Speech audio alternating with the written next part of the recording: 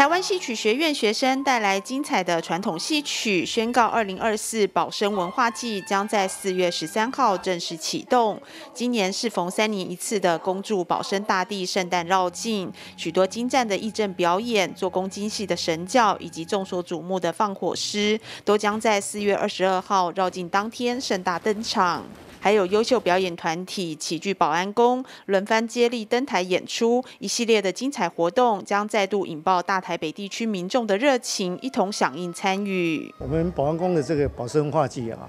每年都有这个很很多的特特色的哈啊，尤其今年呢，是我们三年一次的绕境哈。那我们绕境除了我们北部的镇头之外，我们要要要求呢中南部的哈他们来参与哈。那这个再绕境回来啊，我们就换火狮哈。这个换火狮，我们一直揣摩过去哈，在诶日治时期的那那种这个样式哈。那我们也请到了那个盐水轰炮哈，他们的这个制作方式啊，那也也做了好几年了哈，我们一直改善哈。呀，除了这个火狮本身之外哈，也有焰火哈，所以这个看起来这个很很壮观的哈，啊也也也也很震撼啊。那这这一次的这个呃嘉兴戏啊哈。呃，我们也是一样邀请了这个我们台湾哦，这些顶尖的这些戏班哈来演出哈，所以这每一场啊都是很精彩哈。我们希望这个爱好歌仔戏的朋友哈，大家都能够来参与。